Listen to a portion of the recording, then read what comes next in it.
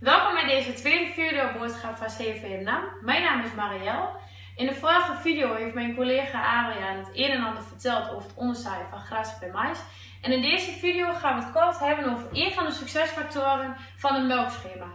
Een melkschema is ervoor bedoeld om de melkpoeder te laten slagen. En wat we doen bij een melkschema is we bouwen de melk op.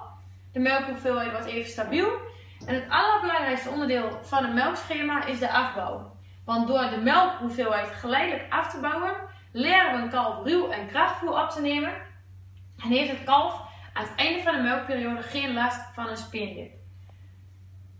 Om zo'n melkschema in de praktijk tot een succes te brengen, is het heel belangrijk dat alle personen op het bedrijf weten volgens welke week de kalveren gevoerd worden.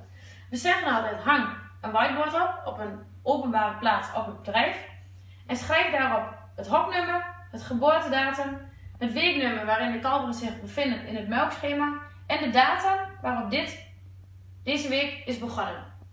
Wat zie je hier? Je ziet de oornummers van de kalveren. Dit zijn de kalveren die in dit hok zitten. Hier zijn ze geboren. En als ik vanavond deze kalver moest voeren, zie ik in één oogopslag, die kalveren zitten in week 3 van het schema. Vervolgens kijk je boven bij het melkschema en ik zie dat die kalveren 2,5 liter krijgen. Met een dosering van 350 gram poeder. Voor die 350 gram is het belangrijk dat je vooraf een maatschap hebt gemaakt waarop alle mogelijke doseringen die in het schema staan vooraf afgemeten zijn. Zo kan geen enkel persoon een fout maken in de concentratie. Dan is er nog één belangrijk deel wat mis kan gaan en dat is de temperatuur.